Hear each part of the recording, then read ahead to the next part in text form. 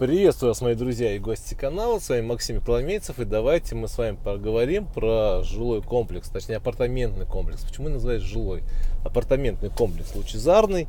И все-таки обсудим плюсы и минусы. Я сейчас э, специально приехал, да, пообщаться с застройщиком. И с застройщиком мы реально как бы хорошо пообщались, много какую информацию для себя подчеркнул и хотел бы с этой информацией с вами поделиться.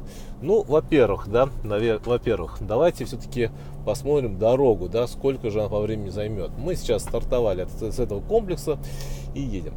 Итак, общая информация. Апартаментный комплекс Лучезарный, это бывший пансионат Лучезарный и, соответственно, его сейчас выкупили, да, делают реконструкцию, делают ремонт, э, покупают технику и мебель и продают вам готовый апартамент по цене 220 тысяч рублей за квадратный метр. И сейчас кто-то из вас скажет, Макс, ты что, с дуба рухнул? Какие 220 тысяч рублей? Ты находишься непонятно где. А мы находимся не непонятно где, а находимся как раз на той зоне, где у нас хорошо и комфортно отдыхать. Потому что, например, тот же самый апартаментный комплекс Лучезарный находится на трех и на 3,2 гектара земли. И, соответственно, там помимо этого здания еще продаются виллы, точнее будут продаваться. Там же еще у нас есть еще одно апартаментное, еще есть апартаменты. И в общей сложности построек э, на одном гектаре, да, все расположились. И как мы с вами выяснили уже, э, получается 2,2 гектара свободно. Это зеленая территория, это хорошая пляжная полоса, это закрытый, ребят, частный пляж, свой закрытый пляж. Да, может быть, кто-то гости и будут проходить, но они будут за это отдельно платить, потому что территория, по сути, э, да, и проход идет частный. Кто-то скажет, это незаконно, ребят, ну, наверное, незаконно, но у нас есть такие пансионаты, как, э, например, те, те же самые салют и так далее.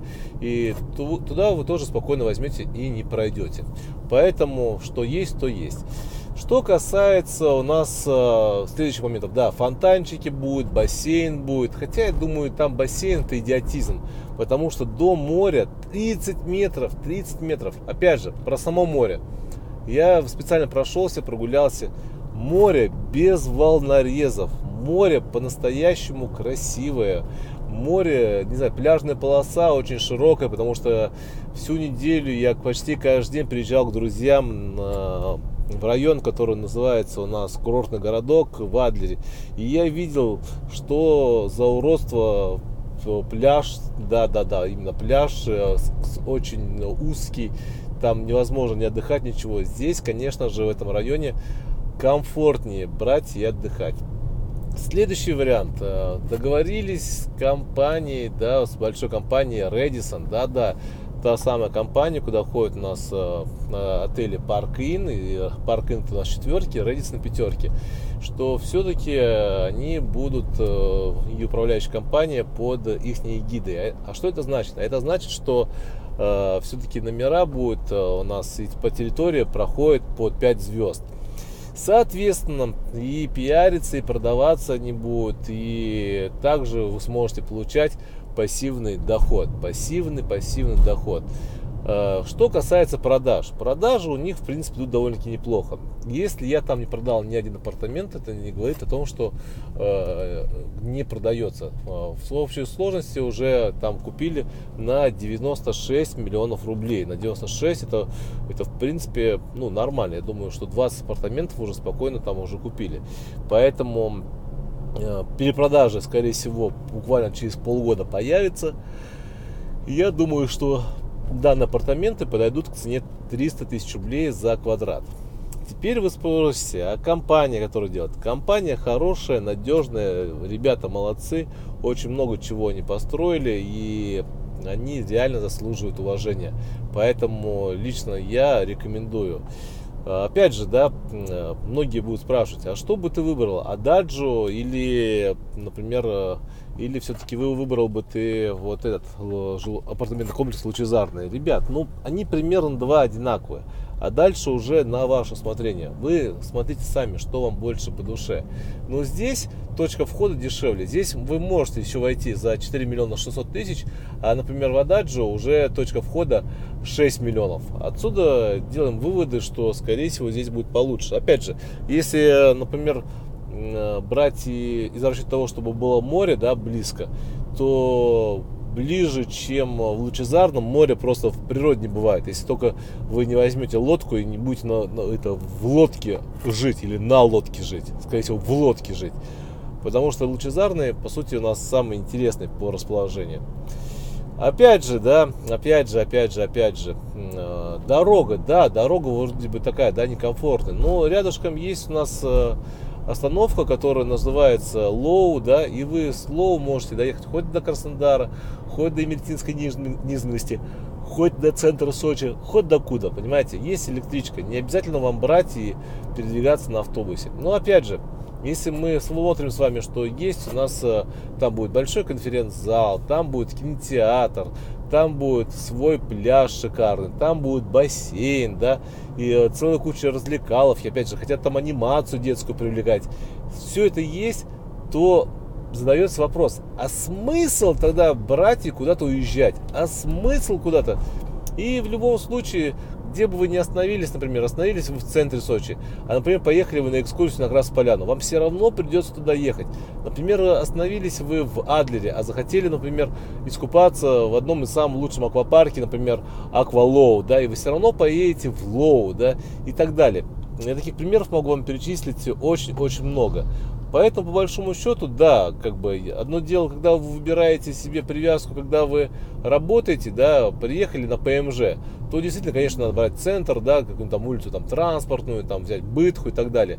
А когда вы приезжаете отдыхать, я могу сказать, что везде отдых одинаково будет хороший, одинаково будет комфортный. Например, вот мы живем в центре, да, а периодически мы отдыхаем там, либо едем на Красную Поляну, либо едем в Абхазию, либо мы едем куда-нибудь Дагомыс в баню и так далее. Мы не привязываемся к центру. Я могу сказать, что я уже забыл, когда последний раз был в, пля... ну, как бы в парке Ривьера. А если вы меня спросите, когда ты последний раз был в Олимпийском парке, в Олимпийском парке я был вчера. Вот такая штуковина. А в Дагомысе я был три дня назад, понимаете? А на Красной Поляне я был пять дней назад. Вот вам и ответ.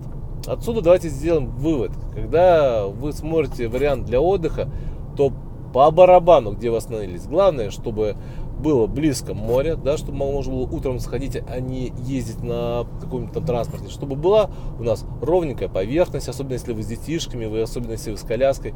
Ну и, конечно же, чтобы были хорошие, добротные номера, чтобы чувствовалось, что вы находитесь на отдыхе, да, на отдыхе на самом лучшем, лучшем курорте в мире, в самом лучшем городе в мире, да, в самом прекрасном городе в мире, да, и для этого нужно взять э, что-то более-менее нормальное. Как, к примеру, апартаментный комплекс Ададжо, либо как э, апартаментный комплекс Лучезарный, да.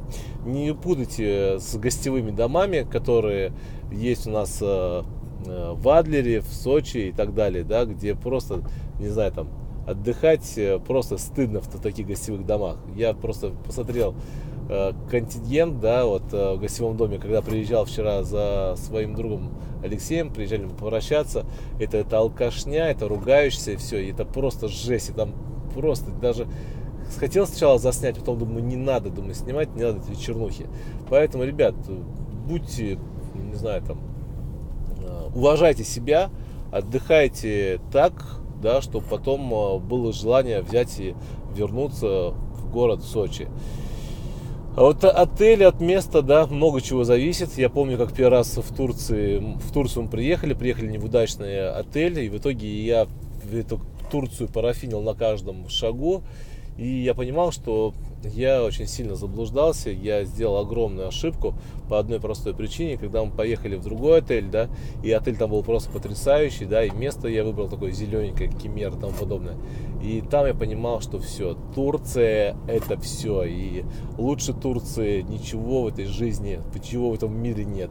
Но пока я не приехал в Сочи, и понимаю, что теперь Турция, да, они молодцы, но до Сочи им далеко. Сейчас я понимаю, что набегут хейтеры и скажут, Макс, ты еще, Турция круче, там жрачка есть. Ну да, жрачка есть, согласен. Э, как мой друг сказал Алексей, да, они были в Турции, да, там только кроме жрачки, привязанных к жрачке и больше ничего, никаких не развлечений, ничего. Здесь за 10 дней они где только не побывали и остались довольны, да, и сами шашлык готовили, и сами там то делали, сами это делали. В общем, а, а, остались просто там довольны и говорят, что обязательно вернутся еще зимой, потому что зимой хотим говорит, тоже посмотреть на лыжах прокатиться, хотя никогда в жизни не катался. В общем, теперь жду друзей в зиму. Вот такая штуковина, ребят. Отсюда, отсюда давайте сделаем еще раз с вами выводы. До Дагомыса мы доехали, до центра Дагомыса мы доехали за 10 минут. До самого центра Сочи мы поедем, ну, может быть, еще поедем минут 7. В итоге, ну, образно, давайте там округлим 20 минут, и мы с вами находимся где? Нет, неправильно, рифмуется. Мы э, с вами попадаем в центр Сочи. Дорога в целом, я бы не сказал, что некомфортно. Да, немножко серпантина было 3 километра. Ну и что? У нас серпантин встречается и в черте города. Поэтому, ребят, э, не привязывайтесь, да, не, не, не прикапывайтесь так, так жестко, да, вот э, к этим моментам. Везде у нас встречается серпантин, да, э, опять же, вы, когда едете у нас, например, на ту же, ту же самую смотровую площадку Ахун, да, вы же едете по серпантину, вы же не отказываетесь поехать туда, потому что там, видишь ли, некомфортно. Поэтому отсюда делаем вывод, да, э, комплекс хороший, комплекс достойный, и здесь уже э, больше, наверное, критики будет это от тех людей, которые не могут позволить э, купить себе апартамент с ремонтом, с техникой, с мебелью на шикарной территории, с частным пляжем своим, да, с э, парковками бесплатными, с огромной территорией за 4 миллиона 300 тысяч. Те люди, которые могут себе это позволить, я думаю, у них будет отношение к данному апартаментному комплексу другое. Опять же, Э, апартаментный комплекс в первую очередь стоит рассматривать не в качестве, ребят, вот послушайте меня, не в качестве покупки недвижимости, а в качестве хороших инвестиций. Потому что э, недвижимость такого плана в Сочи на первой береговой линии это действительно это у нас, э, это у нас, э, конечно же, актив, понимаете, но никак не пассив. Если вдруг кто-то не разбирает, что такое актив и пассив, почитайте книгу «Богатый папа, бедный папа». Я думаю, вам будет полезно. Опять же, да, многие из вас э, спросят, да, а как все контролировать?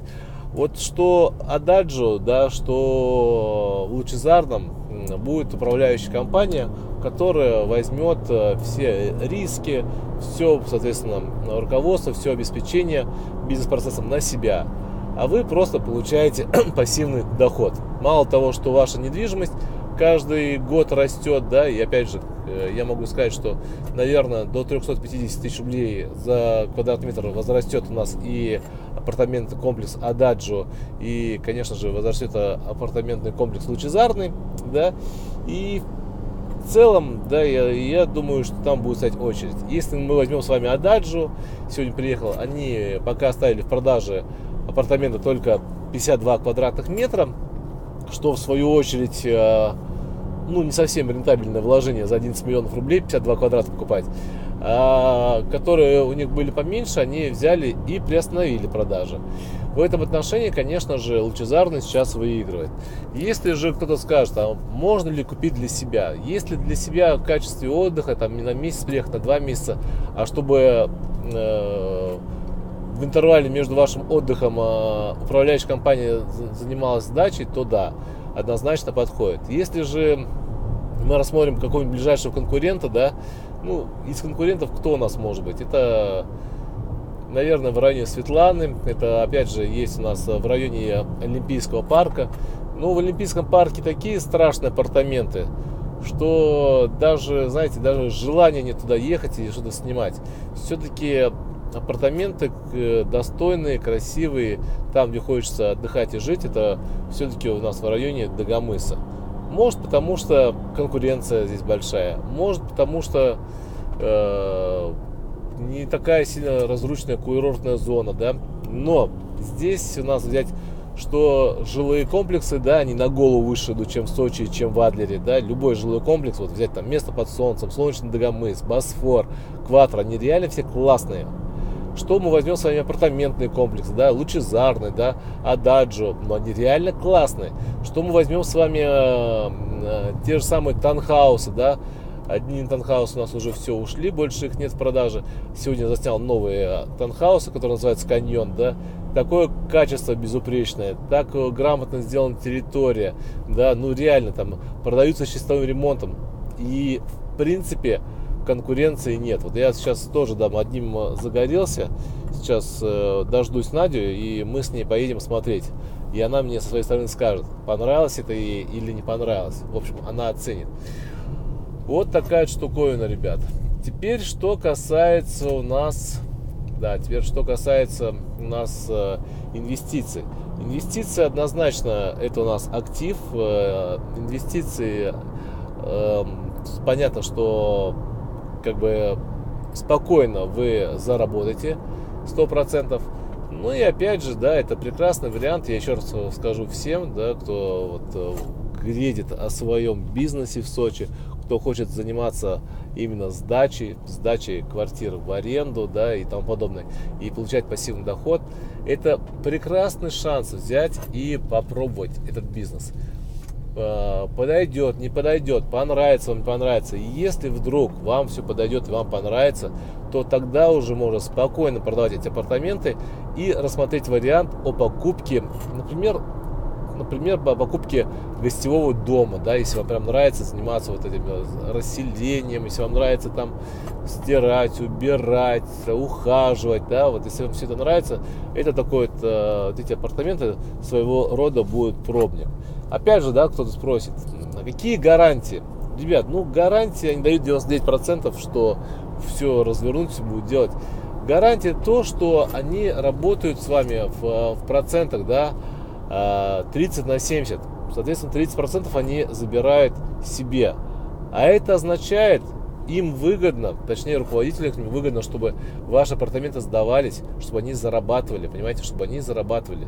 Это изначально и Лучезарный, и Ададжо сделан именно для этих целей, чтобы не заработать, не заработать не на продаже тех или иных апартаментов, а на долгосрочном обслуживании. Я сейчас тоже, если честно, ищу такой бизнес, да, где можно было, например, раз сделать продажу и потом а, всю жизнь получать доход. Ну, реально, вот как бы вот я вижу вот это так.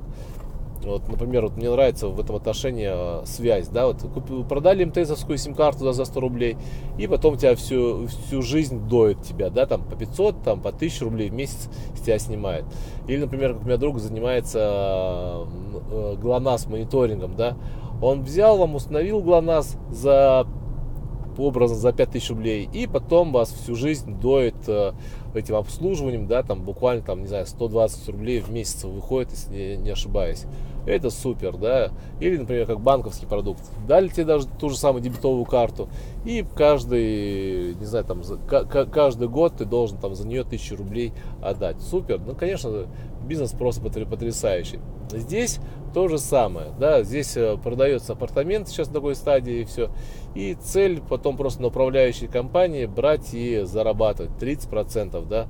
Да, инвестора зарабатывают, кто купил 70%, но они не меньше. Инвесторы максимум там купят 5-6 квартир, да, и заработают столько-то, а управляющая компания заработает вот в целом с, э, вот, не знаю, вот, вот с этого большого, да, вот э,